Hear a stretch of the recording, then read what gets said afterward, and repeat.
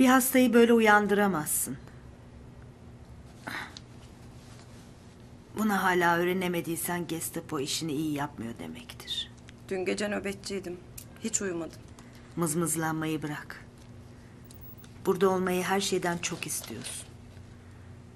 İkimiz de bunu biliyoruz. Hem evde seni bekleyen ne var ki? Ailen mi? Hayır. Kocan? Hayır. E o zaman? Yatağım. Burada da bir sürü yatak var. Biliyor musun senin için üzülmüyorum. Bizim işimiz böyle. Üstelik sen en şanslılarımızdan birisin. Böyle bir hastanede çalışıyorsun. Söyleyin ona Doktor Suat. SSK'da doktorluk yapmak nasıl bir şeydir anlatın.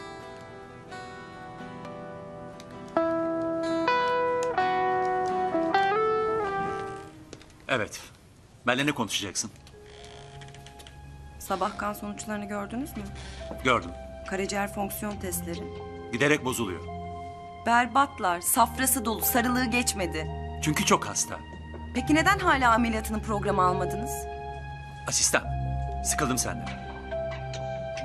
Kadının durumu giderek kötüleşiyor. Şimdi de cerrahlık mı taslayacaksın? Yo.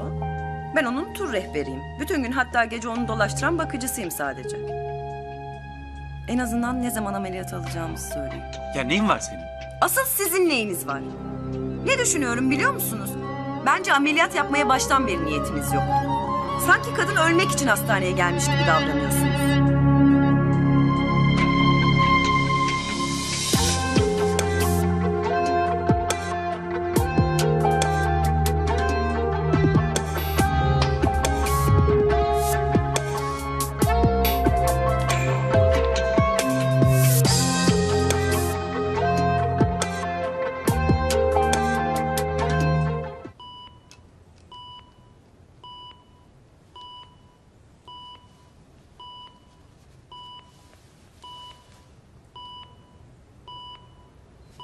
Doktor Suat aranızda geçen şu konuşmayı anlattı. Baştan beri ameliyat planlanmamıştı. Bu benim seçimimdi. Bana söyleyebilirdiniz. O zaman eğlenceli olmazdı ki.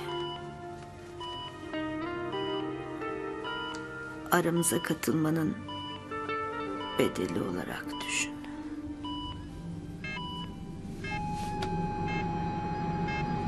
Fatma hemşire?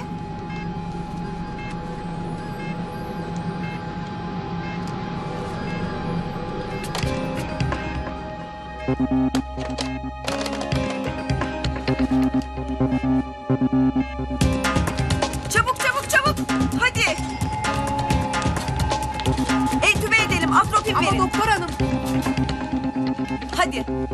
Biri doktor Suat Bey'e haber versin. resistasyon yapılmayacak doktor Zenan. Duymuyor musunuz? Bir, iki, Nefes al.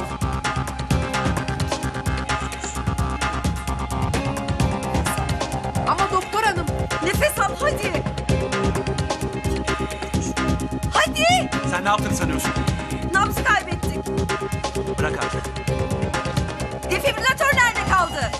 Sana bırak dedim. Resüsitasyon yapılmayacak. Resüsitasyon yapılmayacak dedim. Dosyasındaki talimat böyle.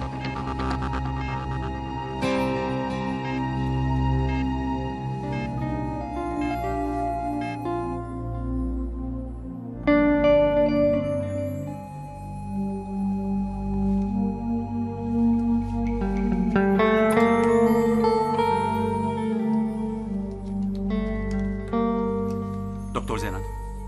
Ölüm saatini söyle. Hayır. Söyle doktor.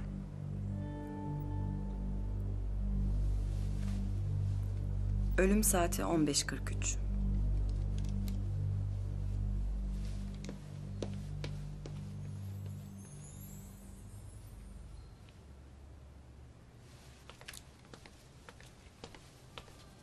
Doktor Zenan.